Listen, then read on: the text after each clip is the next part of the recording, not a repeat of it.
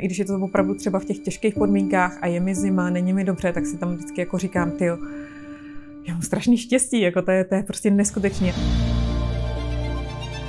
Většina lidí si o ledovcích myslí, že tam nic nežije a že jsou naprosto pustý. I většina vědců si to myslela ještě třeba před nějakými 20-30 lety.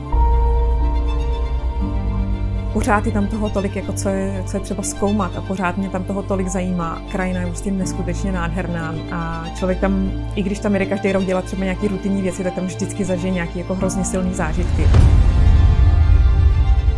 Bylo z ničeho nic, jsem najednou slíkla asi pět, možná šest metrů dolů Úplně si to vybavuju jak v zpomaleném filmu, jak jsem prostě jela takhle po nějaký té ledové hraně.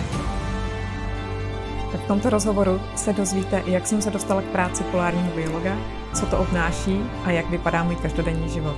Jmenuji se Marie Šabatská a mohu být i tvým mentorem.